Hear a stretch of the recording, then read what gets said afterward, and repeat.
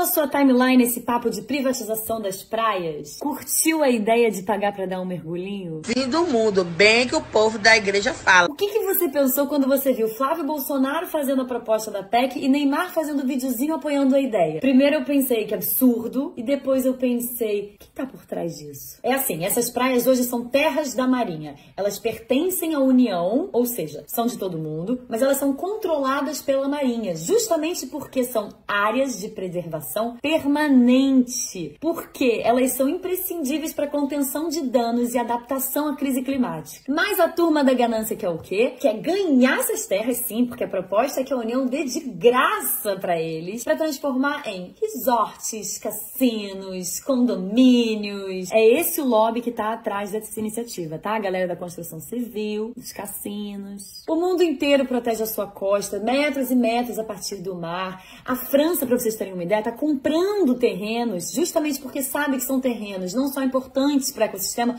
mas porque são muito suscetíveis a serem inundados e ela está querendo proteger os seus cidadãos. São terras que são berço de biodiversidade, que prestam serviços ecológicos. Já parou para pensar nisso? Como contenção do mar. Basicamente, elas são muito importantes para gerar o nosso bem-estar, o bem-estar da humanidade. Largar isso na turma da ganância, que eu tô chamando assim, tá? É bônus para pouquíssimos e ônus para todos nós. Imagina ficar a cargo deles a distribuição de terras ali, a especulação imobiliária que isso vai gerar, como essas terras vão ficar suscetíveis à invasão. Aí, gente, na moral, eu queria estar só pressionando o governo a não explorar novos postos de petróleo e vocês me atravessam com esses absurdos, me deixam descansar. E se tu se animou de comprar um imóvelzinho nessa terra, tu fica esperto, que o mar vai subir, hein?